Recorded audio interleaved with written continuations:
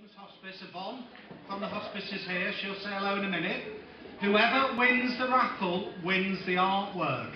Now, we're going to run the raffle till a week Saturday. So obviously the chaps from the press are going to make sure that the information about this goes into the papers and such like next week so we can raise as much money as possible for a wonderful charity that is local to us. The other thing is, we will have copies of all these books by Chris, signed by him. You can buy them from Pritchard's just around the corner. If you want one today especially dedicated, then come up after he's done his drawing and he will do a special dedication for you. You may even get a little picture if time allows as well. But please keep coming to these things. It's important that we get as many of you as possible telling other people about the great things that go on in Formby. Um, hopefully you're now going to enjoy what goes on. I'll just let Yvonne come and say hello and say thank you for supporting the charity.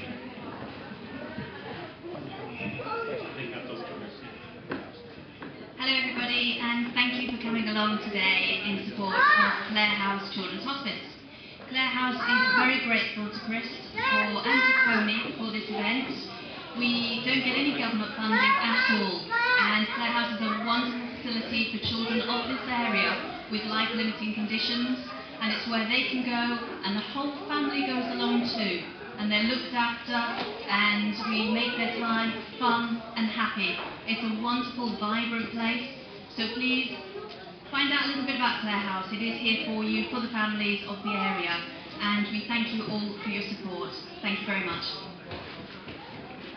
come and, and swim always had like a packet of cheese and onion crisps at the end. And the minute I walked in and smelt that swimming pool, I started craving cheese and onion crisps. And I, I might have to see if I can get some in a minute. Um, I'm going to do some drawing on one of these big sheets of, board. And I'm going to draw something from this book. This book is called Alienography. It's an incredibly silly book, but any of you who've uh, watched Doctor Who or Anymore, uh, like, like the sea that we used to swim in when we were young. Anyone else with a pound, come over and see Yvonne or my, or my helper over here, Vicky. It's, they're not going to go very far. They're locked in, I think, aren't they? Does it go very deep? I've not been got myself. It's- loads and loads of great authors for all ages, tastes and such like coming to Formby. Got the Shopaholic lady in a few weeks' time. Got Phil Jupitus, the comedian, just after Christmas. We've got Andy McNab from the SAS. Tell other people, register for the website, look at the stuff that goes on to Pritchard's website and spread the word. It's important that we all tell each other what's going on. Apple ticket for free. But a pound is not a lot and it's for a very, very good cause. Hospices need money on a daily basis more than anywhere else.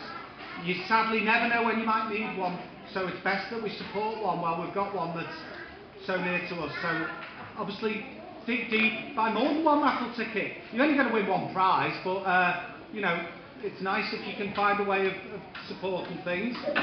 If you want to come up and look at the books, please do. £300 easily.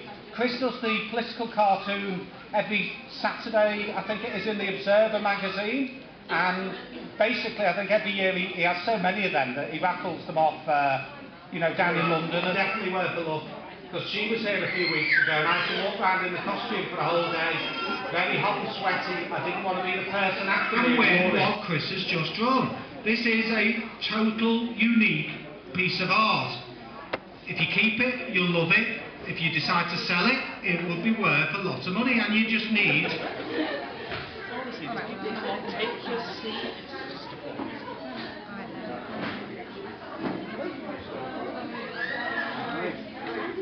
For a pound of apple ticket, maybe to some tickets with Clare House Charity. If you want of